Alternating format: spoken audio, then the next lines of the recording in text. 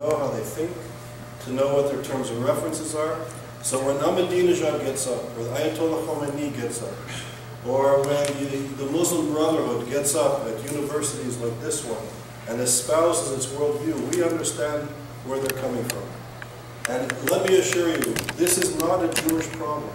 They're using anti-Semitism to promote their agenda, to get support from the grassroots, and to take over societies and to take over institutions, and they're doing it very well. They're using anti-Semitism not in a dissimilar way to what the, Naz the Nazis were doing between the First and Second World War. They're galvanizing their support, speaking about the Jew, speaking about the Zionist, and speaking about the Israeli, while they take away the rights and privileges of women, of religious minorities, of gay people, when they destroy basic notions of citizenship, the notion that everybody, regardless of our religion, our gender, our race, are equal under one law, should not begin and end at the borders of this country. This is, there's international human rights, and as scholars and as students, we have to understand the mind of the enemy and why we are silent, and why this type of disgusting, vulgar lie that demonizes Jews and, and, and I'd say steals the history of South African people and what they endured in South Africa. And I, and I say this as a person who was the head of the African National Congress Solidarity Committee of Canada. I was very active in the United Kingdom. I worked with the leadership of the African National Congress in the 80s and 90s when they were demonized as communists and all sorts of things. I did it because as a young Jew, I couldn't believe that in the 1980s and 90s, when I was coming to age, that a, an ideology of racist, fascist Nazism still existed. So as a young middle-class Jew, I was a part of the anti-apartheid movement because if you look at the South African Freedom Charter, the anti-apartheid movement had a freedom charter that was basically a social democratic blueprint. It guaranteed all citizens of South Africa equality under one law. So as a middle-class Canadian Jewish kid, that made sense to me. Everybody should be equal in the law. There shouldn't be institutionalized discrimination.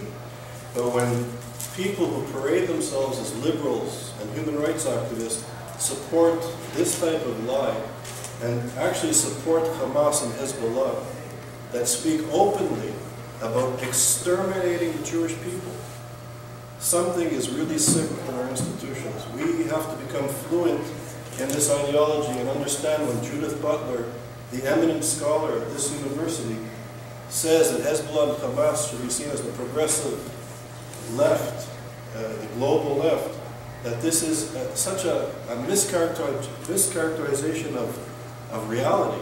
But she gets away with it because she's a Jewish scholar attacking Jewish people. And, and people like uh, to see that, and she's rewarded for it. She should be, and she must be called out on it. So the LIONPAC and, and, and, students who care about human rights, it's vital that you get this message out uh, to your colleagues on campus. And we know from history that anti-Semitism begins with Jews, but it never ends with Jews. We know from history that once this disease of hatred is unleashed upon the Jews, it affects others, it affects other minorities, other marginal groups. And therefore, this is not a Jewish issue, it's not a parochial issue, it's basically a human rights issue, an issue of justice. And when Ayatollah Khomeini, Matthias I know is going to speak about this, but 18 hours before President Obama signed the interim agreement with the Iranian revolutionary regime, Ayatollah Khomeini went on a, on a, on a rant saying that Jews were rabid dogs that were going to go, that were going to basically be destroyed. This is the exact quote. And there was not a sign of opposition, a peep of protest from the American government and from the other five countries that signed the interim agreement. And this rant of Ayatollah Khomeini, the leader of the regime, is consistent with the ideology of Iran and other radical Islamist organizations who believe that Jews are the descendants of apes and pigs, are rabid dogs that bring corruption and, and decadence and destruction to society. Could you imagine if a white African leader would show up in the United States of America in 2014 and say that Africans were the descendants of apes and pigs? They ought to be, and I think they would, and I hope they would, they'd be sent packing home.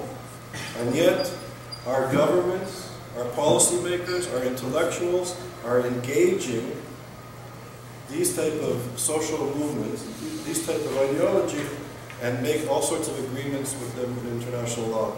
And because anti-Semitism doesn't begin and end with Jews, it will weaken the strategic place of the United States of America down the road. And I think we see what's happening in the Ukraine, perhaps one could argue as a result of the acquiescence to issues of human rights internationally by the United States and other Western nations. And this weakens the West, it weakens the United States, and it weakens our, our capacity to influence things in a, in a proper way in the Middle East, and now it's coming into Europe. So this is really uh, uh, an essential issue. Today Matthias is going to speak about Iran.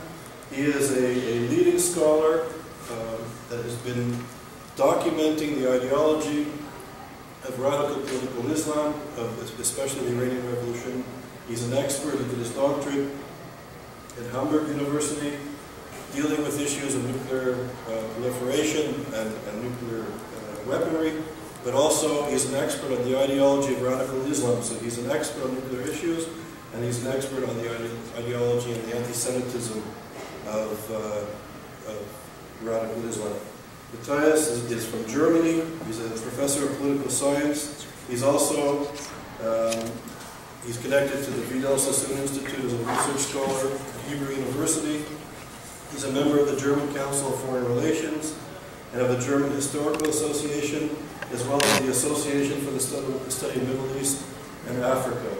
He is a leading scholar, a friend of ISGAP, and spoke uh, with us several times over the years, and it's an honor to have him here with you on, on an issue that should be the burning issue. You know, the fact that we are small groups wherever we go on this issue is an indication of how the agenda, I would argue, of human rights and anti-Semitism has been hijacked. This room should be packed with thousands of students, but it's not. But I think you're in for a, a, a treat that we have such a leading expert here with us today. And I, I hope uh, you ask uh, many good questions to the class and, you're welcome. And thank you very much to Judith and the line. Okay.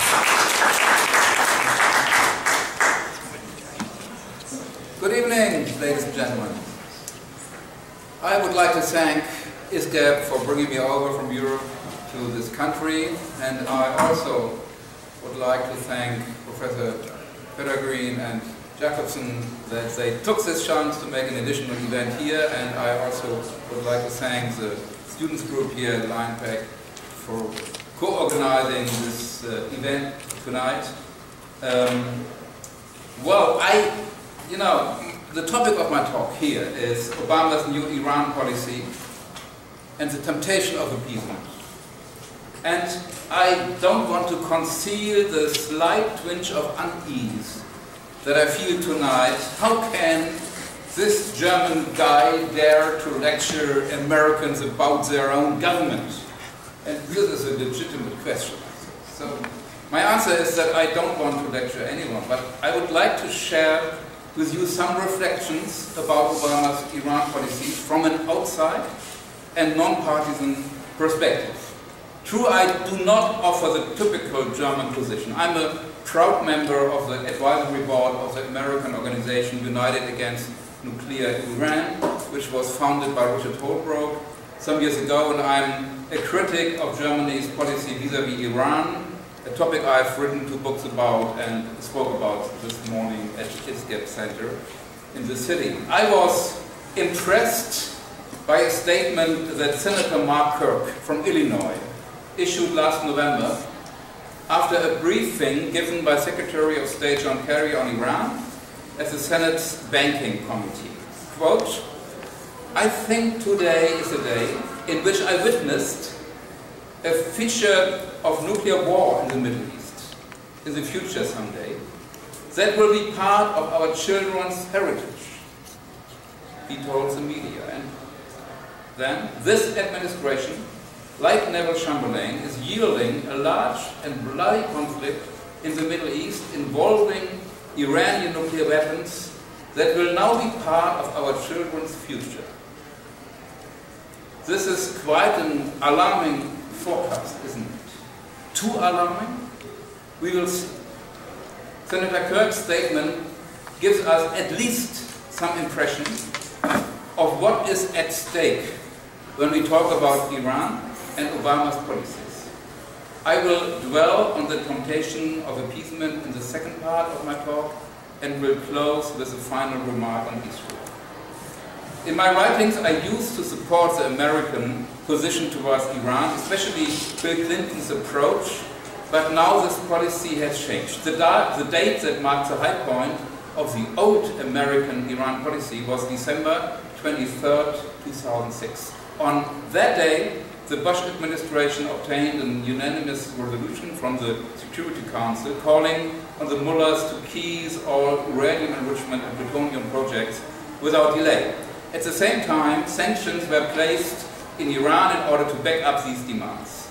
This resolution classified Iran's nuclear program as a threat to international peace. In the event that Tehran failed to comply, the resolution threatened additional pressure.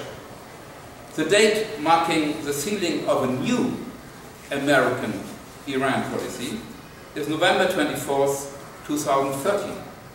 On that day, the five permanent members of the Security Council in Germany approved in Geneva an interim agreement with Iran that nullified the above-mentioned United States resolution, uh, United Nations resolution. Iran agreed to suspend the 20% uranium enrichment.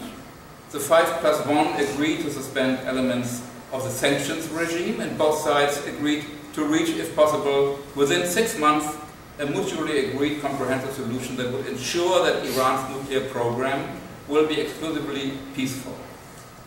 The White House paved the way for this so-called Geneva Agreement by conducting secret negotiations with Iran. These negotiations started in March 2013 and gained momentum after the new Iranian President Hassan Rouhani took the stage in August last year. These bilateral discussions had already produced an agreed United States-Iranian text by the time the first Geneva talks opened on November 7. However, when the French saw this first draft, they were troubled.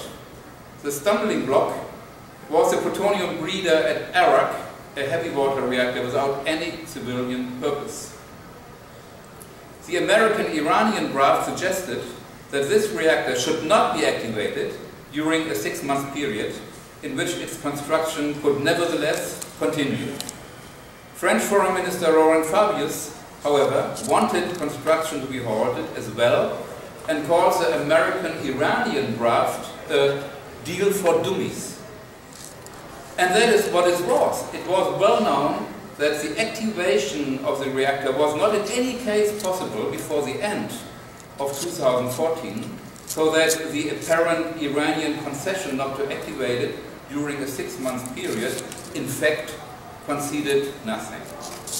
Two weeks later, the 5 plus 1 and Iran adopted a revised version of the Geneva Agreement with a footnote that clarified that the Arak reactor can continue to be prepared for activation but with restrictions. In January, Iran's new president Hassan Rouhani asked a big crowd, do you know what the Geneva Agreement is? And he gave the answer. The Geneva Agreement means the superpowers surrender to the great Iranian nation. Unfortunately, Rouhani was correct. Tehran had breached at least six United Nations resolutions and was nevertheless rewarded in Geneva. Why? Because this agreement permits the enrichment of uranium below 5% and the research and development of the most modern centrifuges, test runs included. It keeps Iran's nuclear infrastructure intact and ignores the most pressing demands from the International Atomic Energy Agency, namely that Iran sign the additional protocol of the Non-Proliferation Treaty and allowed transparency with respect to Iran's previous nuclear weapons research. The agreement makes it possible for Iran to become a nuclear threshold state and provides legitimacy for its nuclear efforts of the last 30 years. How can we explain this result? A short look back might help to answer this question. For Washington has shifted its policies on Iran again and again. At the beginning, President Bill Clinton played an important role by denying the Iranians access to nuclear technology at all. This was the most reasonable position.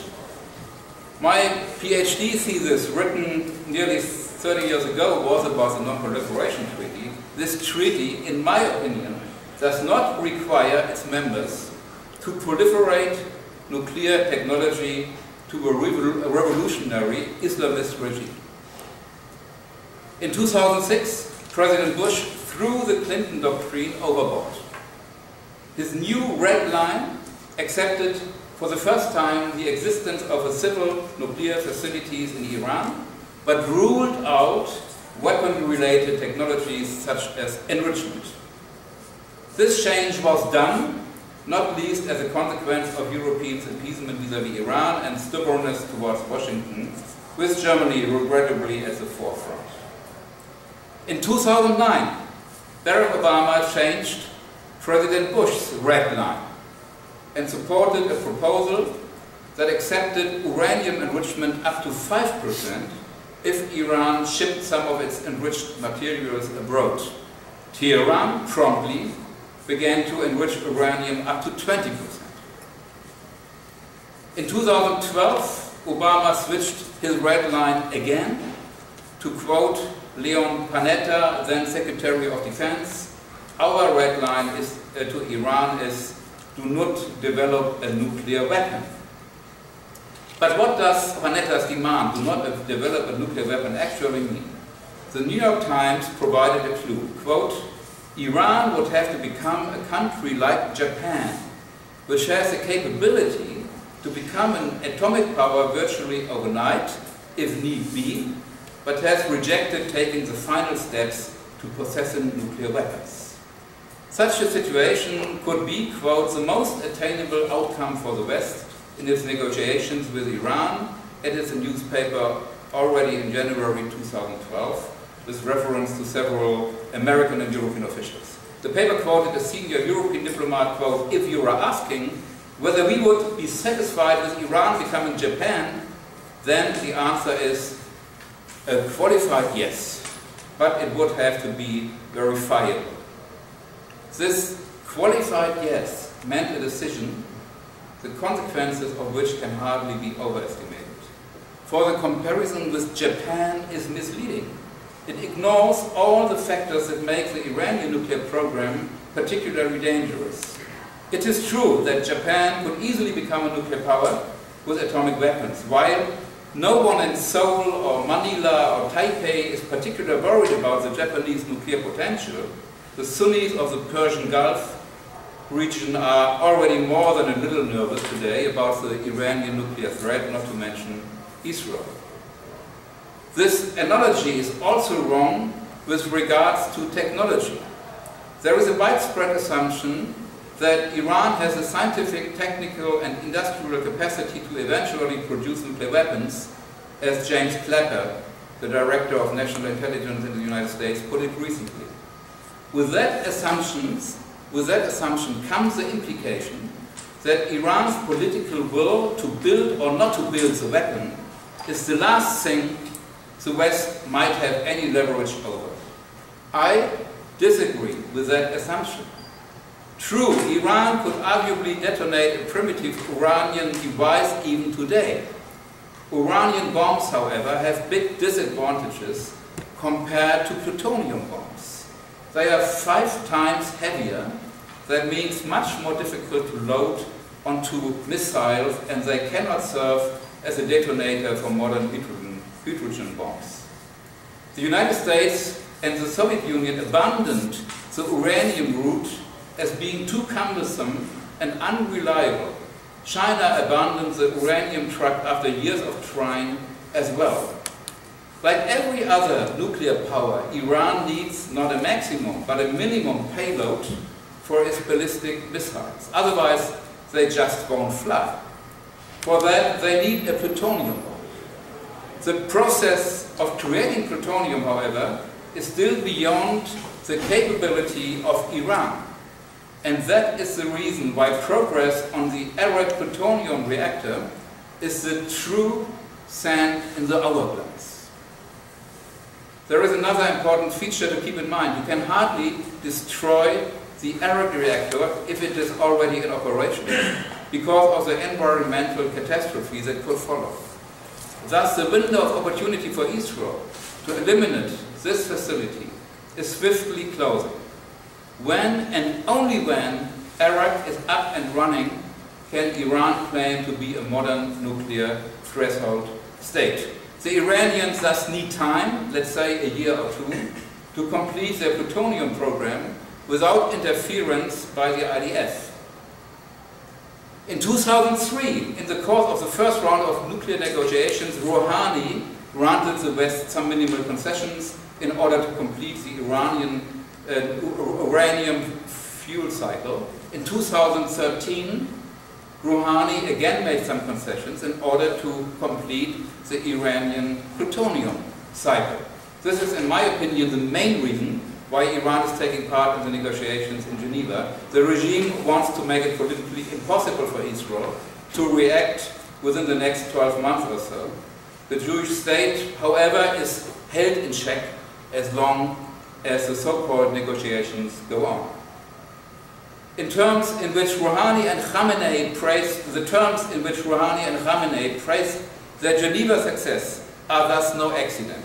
Rouhani wrote in his letter to Khamenei, quote, the ground has been paved to take further big steps to defend the country's technical developments.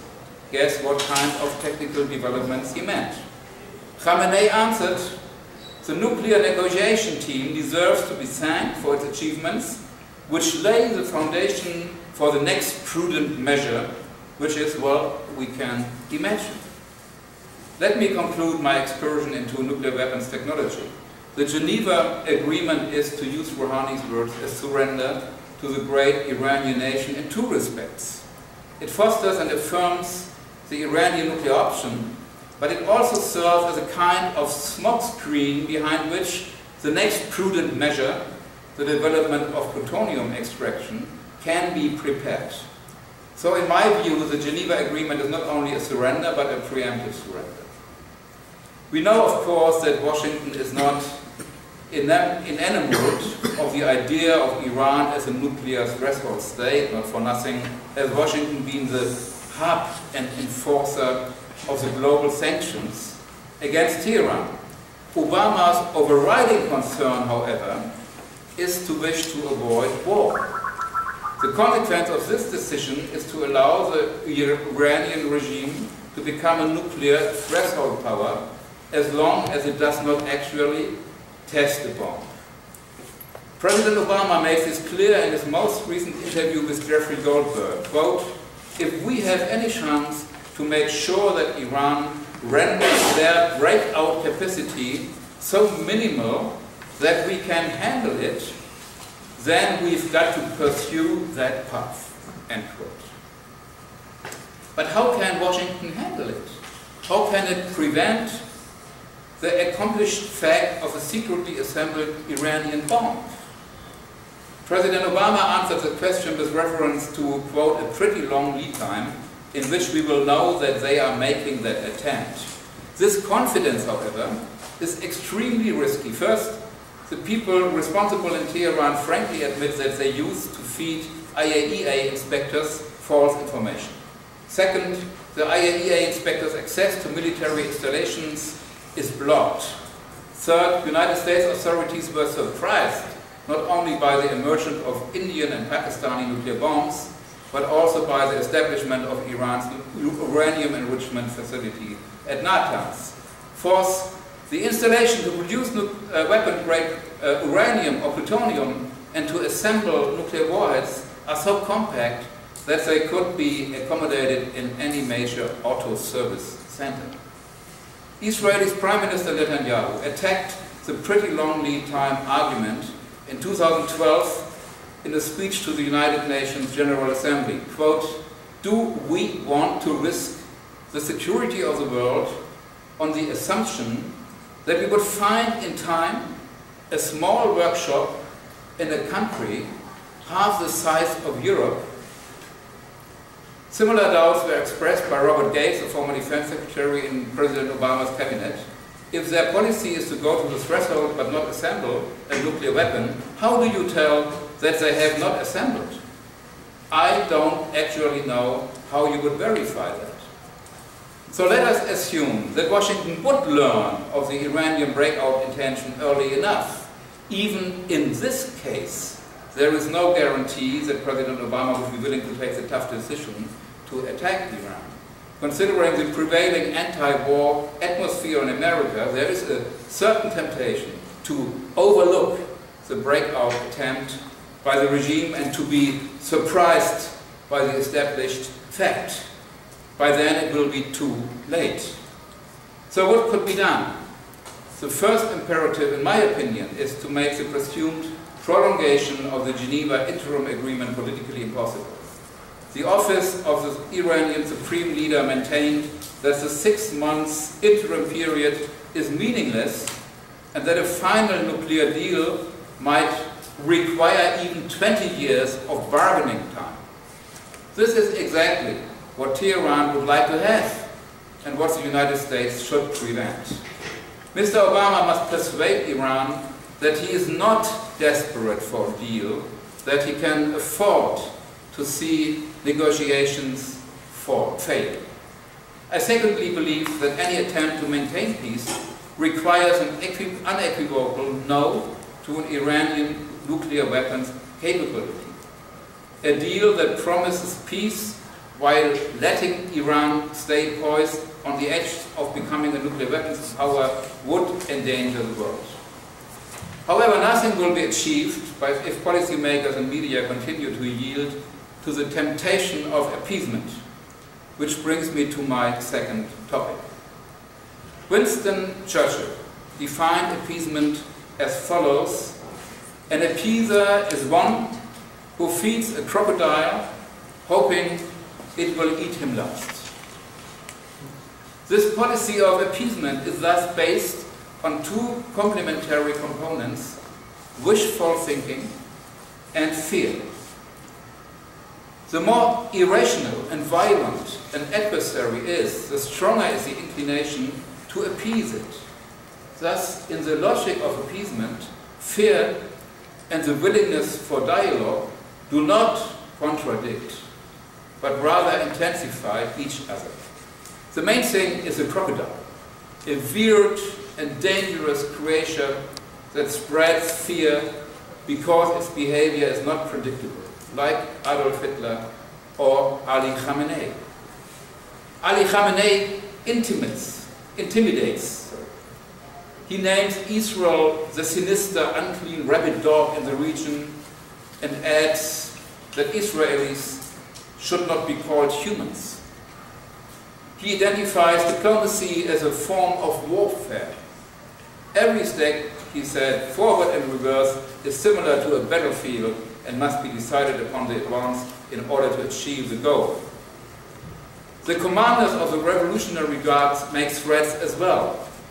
We have identified centers in America for attack that will create a shock, they said.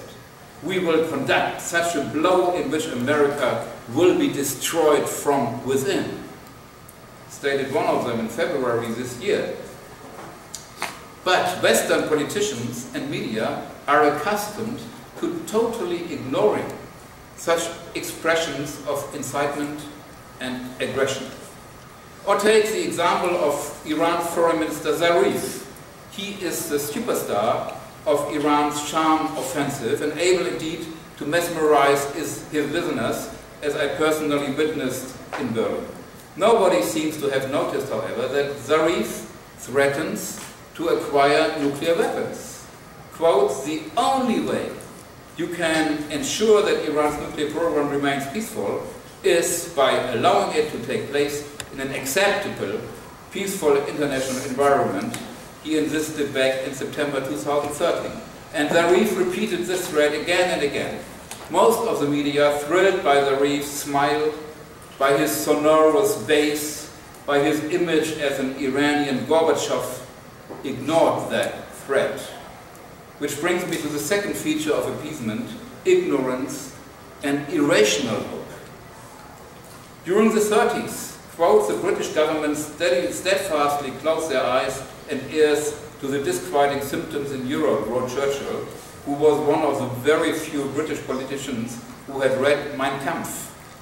Churchill drew attention to the Nazis' philosophy of bloodlust and the fact that internal conditions in Germany bore no resemblance to those of a civilized state.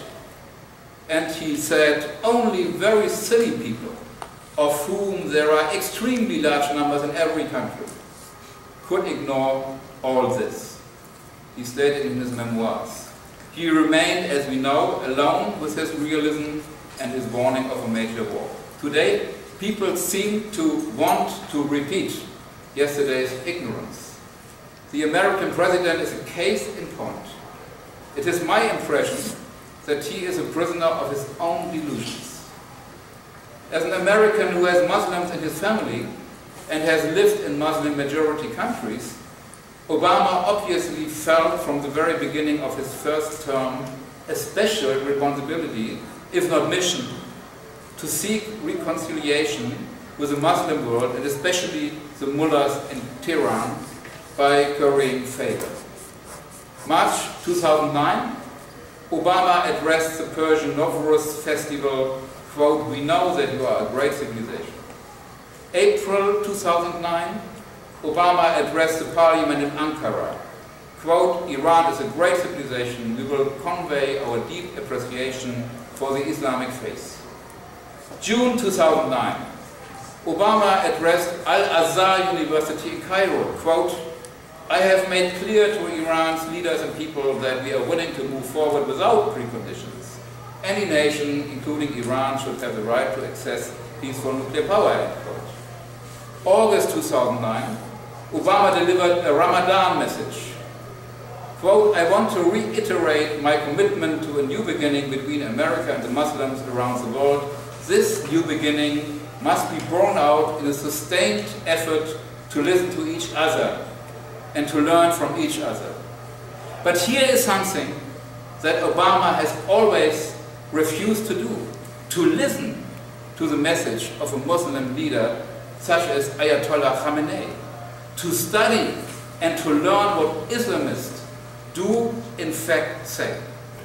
Instead, his statements reveal that he and his advisors are not familiar with Islamism at all.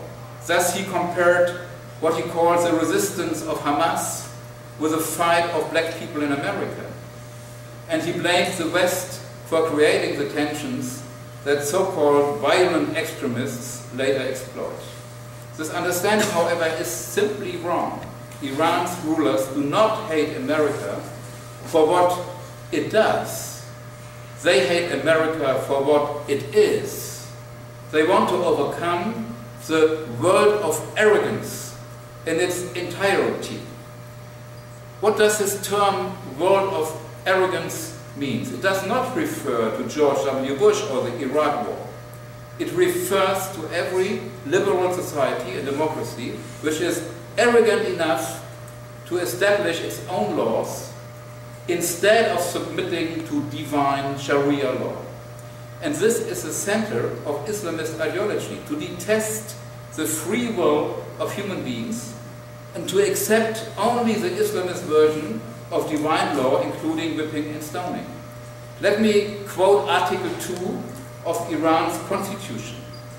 Quote, the Islamic Republic is a system of government based on the faith in the one God, that He established the law, and that man should resign to His will. This constitution has never been a topic of debate in the West.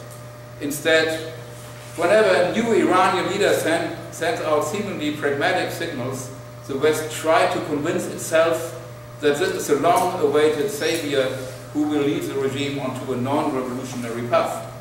In President Reagan's time, the savior was Hashemi Rafsanjani. President Clinton viewed uh, the then President Mohammad Khatami as a new harbinger of hope. His foreign minister, Madeleine Albright, was the first to express regret for the role the United States had played in Iran and was the first to praise Khatami's policies, quote, the democratic winds in Iran are so refreshing and many of the ideas espoused by its leaders so encouraging. But how did Iranian leaders respond to this flattery back in 2000? Albright's speech did not strengthen Khatami's allies. The very next month, the judiciary, under the control of Supreme Leader Khamenei, started arresting leading journalists and putting them in prison, writes Dore Gold in his book on how Iran defies the West.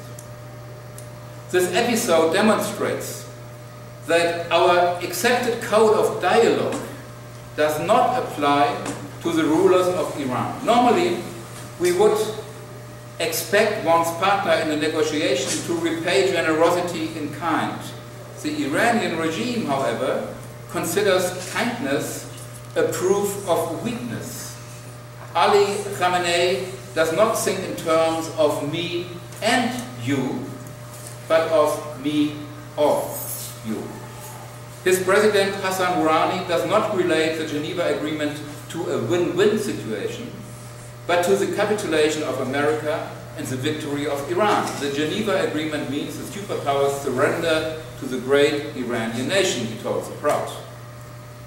There is no question that with this remark, Rouhani wanted to hum humiliate the United States. It was a public speech he knew about the effect.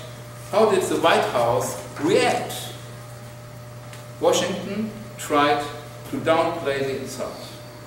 This is what the White House spokesman Jay Carney had to say. It is not surprising to us, and nor should it be surprising to you, that the Iranians are describing the agreement in a certain way their uh, their, towards their domestic audience. So the White House did not object to Rouhani's remarks. Instead, it safeguarded the Iranian president against his own words. The administration was eager to humbly play down the humiliation so as to save the dialogue. And this response shows what appeasement is about, to answer the slap in your face with an even more friendly smile. But we cannot compare the appeasement of the 30s with the appeasement of today without highlighting the most important difference, which brings me to my last point, Israel. In the 30s, there was no chance for Czechoslovakia to defend itself or for its leaders, uh, for example, Edvard Beneš, to complain about what Chamberlain and Daladier did. Israel, in contrast, is strong. Netanyahu speaks out. And that is precisely why Israel is so sharply attacked today. The more Iran succeeds in upgrading its image, the stronger the downgrading of Israel's image seems to be.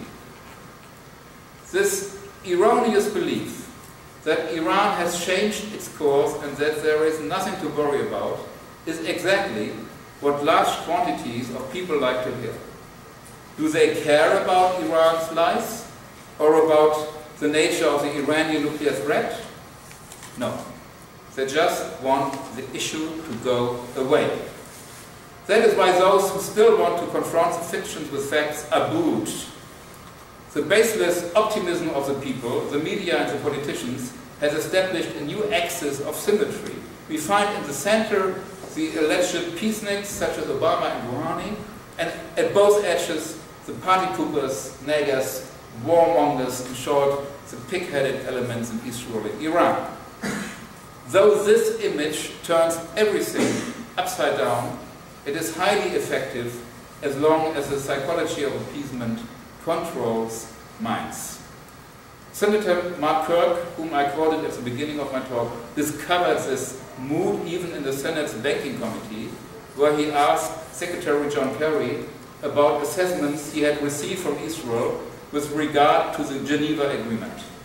Mr. Kerry, however, dismissed this source and repeatedly told senators to, quote, disbelieve everything that the Israelis had just told them. No check, no doubt, no partnership, just rejection. Shut up, Israel. Or look how this administration and the media have treated the 58 senators supporting the Nuclear Weapons Free Iran Act, a bill to strengthen the American negotiation position vis-à-vis -vis Iran by threatening further sanctions if Tehran violates the Geneva Agreement. First, the Obama administration fought a fierce battle to convince Senate members not to pass any new measures against Tehran. Obama repeatedly threatened to use his veto against this bill. Second, the senators were accused of secretly working to push the country towards war with Iran. Quote, if certain members of Congress want the United States to take military action, they should be upfront with the American public and say so, requested Bernadette Meehan, the National Security Council spokeswoman. What an unprecedented insult. Third, a campaign against this bill was launched by pro-Iran lobby groups and grassroots organizations such as the Jewish organization J Street, which appealed to the war weariness of the American population. The J Street stickers bear the slogan, quote, no Iranian bomb, no new war, no to Senate Bill 1881. J Street's mobilization against a simple sanction law with the slogan No New War does indeed recall the fearful mood of the 30s in Europe. It sends a signal that the United States has surrendered its ability to compel Iran. Instead, this country seems to be impelled by the mullahs. Fourthly, the accusation of Jewish activism in Congress followed. United States officials claimed that Barack Obama and John Kerry were, quote, disturbed over what is being perceived in their inner circle as Jewish activism in Congress, wrote the Jerusalem Times. This complaint, ridiculous as it is, was not sent to American Jewish leaders, but to the Israel government. Isn't that unbelievable? Skeptics of the Geneva Agreements were thus identified as part of Israel's fifth column in the United States. Fifthly, the entertainment sector stepped in. In his daily show, broadcast by Comedy Central, Jon Stewart castigated the 58 senators who advocate a new sanctions bill as senators from the great state of Israel, rather than representing American interests. Stewart used here the Walt Mearsheimer Israel lobby myth that crosses the line into anti-Semitism. Let me finally quote another important voice on this. Unfortunately, a pressure group in the United States, which is a warmongering group and is against constructive talks, is pursuing the interests of a foreign country and mostly receives its orders from that foreign country. The interests of one foreign country and one group have been imposed on the members of the United States Congress, and we can see that even the interests of the United States are not considered in such actions.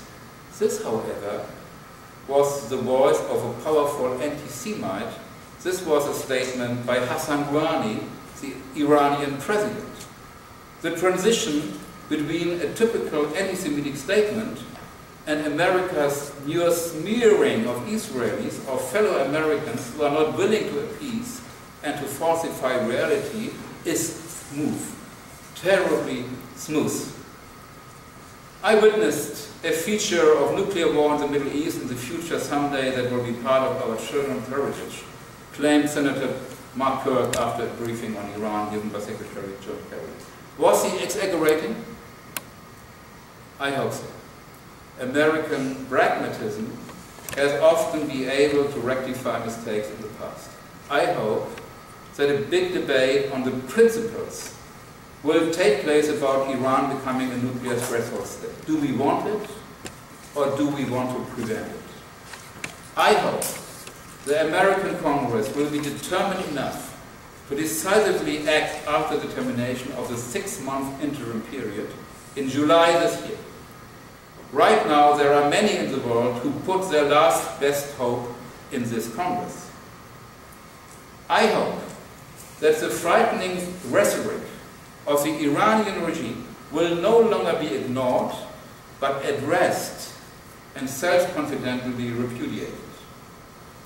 I hope the media will reveal the truth about Iran's totalitarian system and its ideology and will cover the appalling human rights situation instead of keeping nearly anything out of sight that might endanger the so-called dialogue. This would also show how crazy it is to mark Israel of all states as a scapegoat. I hope so, but I am not sure. A potential catastrophe is looming. Nobody knows if a nuclear-armed Iran will allow itself to be disarmed and private of its power without using its nukes. Whereas Chamberlain's policy back in the 30s led to a conventional war, the current policy of the Obama administration is conjuring up the threat of a nuclear war. Thank you very much for your patience.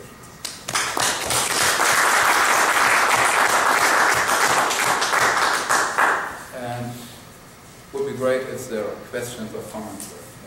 Uh, has the Israeli seizure of the uh, Iranian weapons uh, shipment to Gaza, has that created any talk in the Asia? Oh, should I repeat myself? Uh, again, please. Um, has the Israeli seizure of the Iranian weapons shipment to Gaza, that created any talk in, in the international arena that, you know, any doubt over Iran's intentions? Well, I have not seen big comments.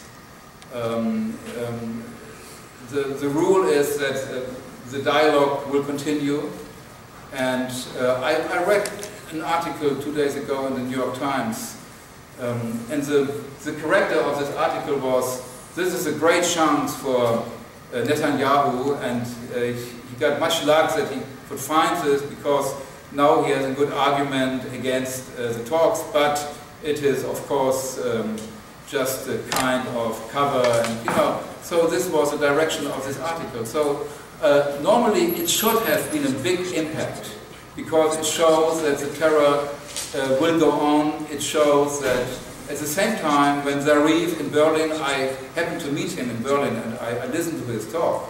He said, well, we are against terrorism at all and yeah, everything like this. At the same time, this uh, long-range uh, rockets were sent uh, to the Gaza Strip. So uh, it would be very good if the world would react in a kind of, uh, you know, animalistic manner, but I don't see that. Israel invited all the journalists to come and look at the inventory. We will see what... Nobody, none of the foreign media showed up. Yeah. There's no interest. So this is... Um, this it's is, an inconvenient fact. Yeah, right. Convenient is what uh, strengthens the belief that Iran changed. Inconvenient is what shows Right. the truth.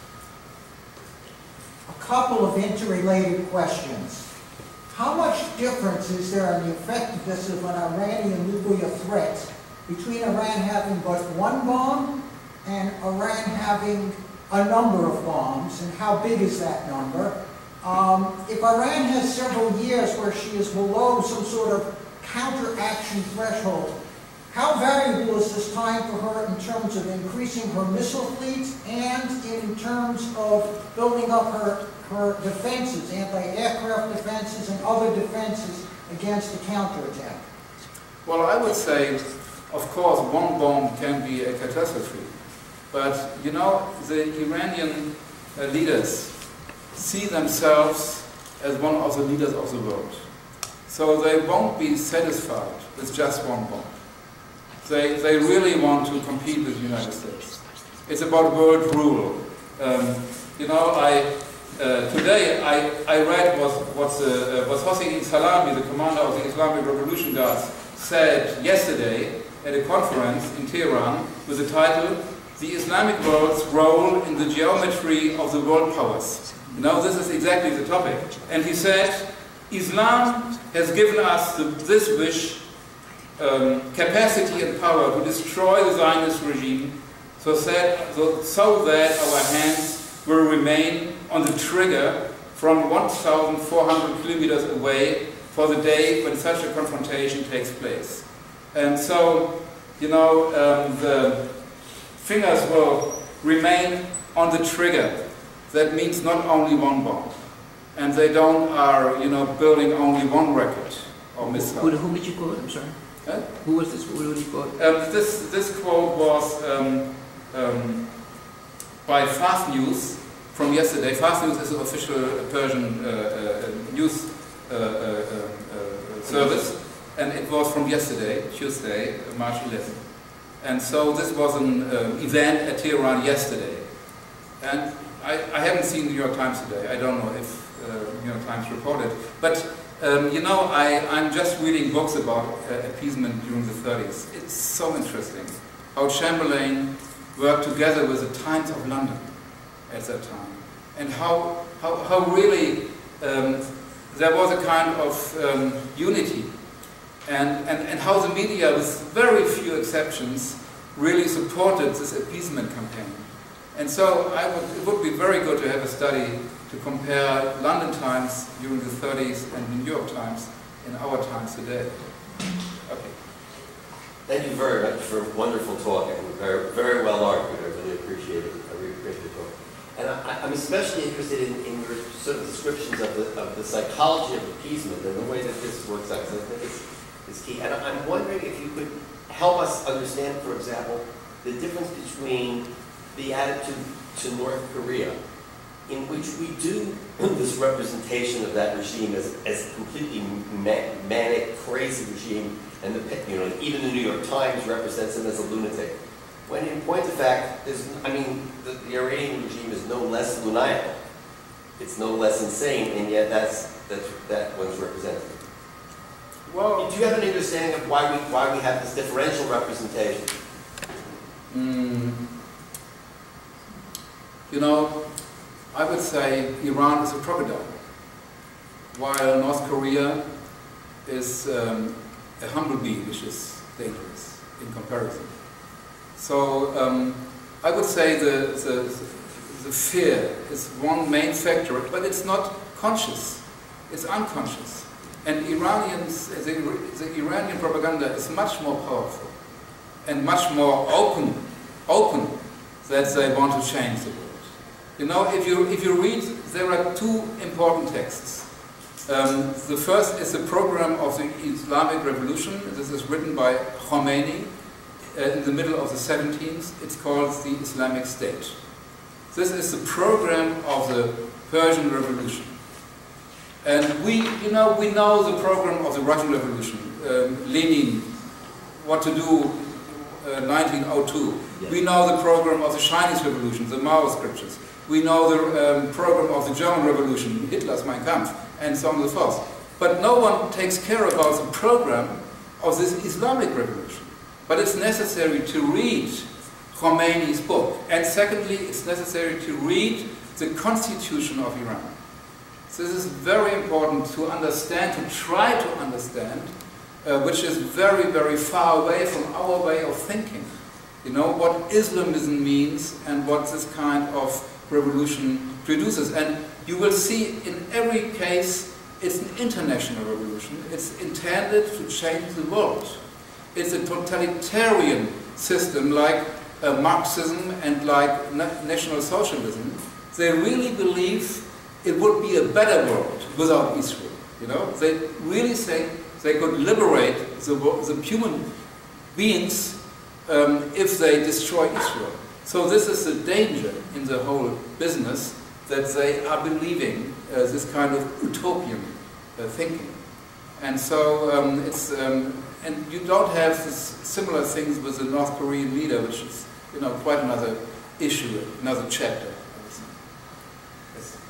Um, I don't know if you delve into like internal Iranian politics, but I was wondering if you could talk about how Islamist is the Iranian population itself. Like, you know, back during the revolution of Shah, you had like the Tudeh, you had the women, you had the, you had a little bit of Islamists, you had the clerics, and then, then you had the middle class bazaar that was able to really push out, that was really able to change politics in Iran. So I'm wondering if you can address who the players are today and how Islamists started that, and maybe touch on the Green Revolution.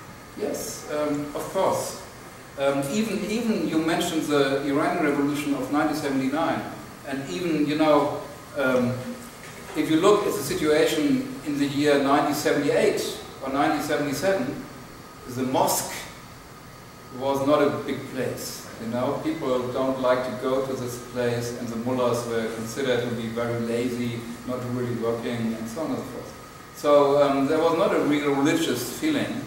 And so this revolution was done by three, uh, was coming from three sources. The first source was the nationalists uh, in the heritage of Mos Mossadegh. The first source were the leftists, the Tudeh party, and only the third group was the Islamists around uh, uh, uh, Khomeini. And, but but he, he was able to take the lead. And, and, and today, you know, there is no other country uh, within the Muslim world where religion is so much hatred within the popularity. I will give you an example. I, I have a friend. Eh? Where religion is hated or religion is hated? No, religion, the Islamic uh, creed, Uh, is hated because they, um, what they knew about this is what the ruling people are saying to them. And so um, it's, it's really quite a difference if you, for example, uh, compare it with Egypt. So it's quite a difference what the population uh, is, is saying and thinking. In Egypt, it's very, very clear that also road masses are very, very anti-Semitic. And you don't have the same in Iran. Uh, Radio Israel, for example, which is um, broadcasting in, in Farsi language, is very popular in Iran. And, and so we, uh, the American um, you know, model is uh, well known and, and very popular as well. So you don't have the same in other parts of the Arabic world. So it's uh, very interesting. And what I wanted to say is, uh, I, I, I, have a friend in, in Germany, Iranian, and his brother is still living in Iran, and he told this uh, following story. Uh, when you uh, take a taxi in Iran, it's normally from lot of people, eight people or nine people sitting in one car. And uh, there was one uh, traveler, very, you know, high, you know, very uh, Tall. Tall, yes, thank you. And so his, his head always pushed against the roof of the car by every hole in the street. And every time the street has a hole and he this um, a boop, um, he cried out, Nasrallah. Then the next hole, Nasrallah, Nasrallah. And what was it? It was meant, this is the leader of Hezbollah. And all the money of our state is going to Hezbollah instead of repairing the road. So this is a very typical expression, you know, popular expression of uh, uh, insatisfaction with what the regime is doing. Yes. I'm curious if you think that uh, President Obama is trying to work out a deal with the Iranians so that um, they get the bomb after his presidency. You know, once the presidential library is all financed, and then the Persians uh, can have their bomb and everyone's happy. Also, I'm wondering if uh, the Europeans and President Obama is saying, after they get the bomb, we'll let the Israelis take care of it if they want to, but we'll, we'll never, uh, you know, we're not going to take care of it. A, if the Jews want to uh, get involved in, in a fight, with a nuclear fight, we'll let it up, it'll, it'll be up to the Jews to get it. Well, this comment is difficult to, you know, because I don't, I really, I really don't know exactly the motivation of Obama. And I, I, don't, I don't believe that he really wants Iran to get bomb. Um, I don't think he's, uh, you know, uh, it sounds for me like a conspiracy theory. And so I think he's really believing, like Chamberlain, that he is doing a very worthful thing for humankind and humanity. And if you look at the psychology of Chamberlain and of the psychology of Obama, there are very interesting, uh, um, uh, very similar features. For example, a kind of Nazism, you know, and um, saying, I'm very, very uh, capable of um, changing the world in a better direction. And if you read his, uh, his talk at uh, Oslo, when he got the uh, Peace Nobel Prize, uh, you, you find similar um, aspects. And so I, I more believe that he is really, uh, inside is his own illusional world and really thinking some resolution can be found without, uh, you know, uh, using arms and without any kind of war. And of course, I'm, I'm, I'm not in favor of war. I would be happy we, we had a world without uh, the need of war, but sadly enough, sometimes uh, you need uh, the power of military to, to rescue things. So, yes? Well, just along those lines, um, how do you think the, the you know, events in, in, um, in Soviet Union right now, in terms of the, the Soviet Union, you know, putting boots on the ground, um, the Soviet Union Was that is, does not exist. Russia. Russia. The Soviet Union exists in the mind of Putin. Okay. so my slip of the tongue was his slip of the tongue. Okay. Uh, actually, but I mean, there, there actually has been a certain. Some of the theses that you brought out about appeasement, I think, have come out um, more mainstream now, interestingly, around these events. Um, in other words, more and more commentators have sort of said that this was a result or an indication of our appeasement position. Well, the problem is that um, also in the case of Egypt and in the case of Iran, when the uprising uh, took place in 2009, the Obama administration failed to put the Western values in the forefront. Um, but they tried to cooperate with Islamists. In Egypt with the Muslim Brotherhood, and in Iran with the regime, with Khamenei. And so this was a big strategic mistake, I would say.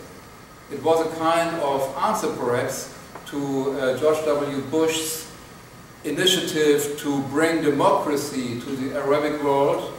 Uh, so it was a kind of counter strike, you know what I mean? And now saying we don't want to deal with any value uh, we share in the United States, they shall do what they want, and it's not our business. And this was a mistake, because in all those countries, there are people who are in favor of liberal democracy. In all those countries, there are people who are in favor of religious tolerance. But you know, the Copts in Egypt, they had no partner in the West to, to deal with. And the moderates in Syria, they had no partner to deal with in the West. So the West showed its back to them instead of really engaging them in this kind of struggle. And so this is connected, of course, also with what happens in Kiev and uh, at the Krim. Uh, okay. Yes. Uh, uh I'm, I'm listening here. Okay. Uh, I just want to know, is, uh, is, import, is world peace more important, ruling the world, is more important than world peace for Jews or Israel? Or and for, for Muslims also? Do you think? I, you know, I think it's not a question of religion. It's a question, it's the human desire to have peace. Uh, I think this is obvious. And, and to have tolerance. And so there are so many Muslims in the world who hate Islamism because they are the first victims of Islam. Um, you know, getting forced to carry the veil, for example, or getting forced to um, forced marriage or something like that. So, so I think this is a universal uh, interest, uh, independent if you are a Jew, a Muslim, or Christ, or like myself, uh, um, atheist. You know, it's um, uh, it's it's the same. I would say. Do you think that in a, in a relatively reasonable period of time, you will simply have a bad deal coming out of Geneva? Or that Geneva will just be dragged on and on and on with no deal? I, this is my feeling. You know, um, pr- the president, Obama, told the people publicly that he sees the chance of an agreement 50%. This is not very much. And the Iranians said, well, this is even an exaggeration. The Iranians say it's less than 50%. But at the same time, Obama was very much against this bill, which could strengthen the negotiation position of the West in order to make sure that there will be a kind of solution after six months. So this alone indicates that everyone is thinking about at least one year and then perhaps even longer. And so during those months, uh, the Iranians are able to, uh, you know, concentrate on more uranium enrichment research, uh, to build every component uh, for Arak, for the plutonium reactor, only outside of the reactor they are allowed to build it, and then they could put it in to a later point of time. So um, this is my, my um, well, forecast that they want to drag it on and drag it on and drag it on. And this is, of course, the situation where Israel is kept at bay. And uh, then had to accept, perhaps, uh, the threshold state Iraq. It's very dangerous.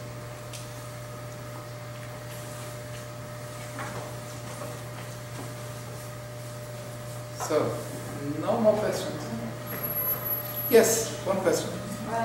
Somewhere that China is supplying um, Iran with some of the technology that um, they need to accelerate, you know, making the bomb. Well, not only China, uh, also European technology is going to that place. Uh, there is a big smuggling industry, and uh, even Germany is one of the main, uh, you know, supporters in a way. So it's not only China, but China and Russia, of course, they um, they don't. Uh, you know, the, you, you mentioned Soviet Union and, and, and, and mix it up with Russia. And I have the feeling with Russia today that they have the same tactic as with the Hitler-Stalin pact, you know? Um, if we can't deal with the West, well, we will deal with the Iranians. And we'll, we'll, we'll, give them, uh, you know, a bit of money and we'll make exchanges with, with them. So it's, it's really a, a, a weird world and the West is, you know, more and more in a minority position. Uh, if you see the power of China and the power of Russia today. And so it's even more important that the West is really playing out its values and, um, you know, really supporting uh, religious tolerance and uh, liberal democracy in the world. Okay. So thank you very much for your